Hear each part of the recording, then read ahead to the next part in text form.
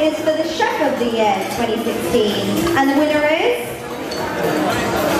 Right, the winner of the Chef of the Year is uh, Lestekia Resi. Have I got the right name?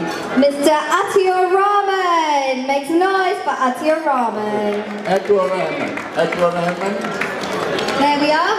Ataur Rahman. Please come and collect.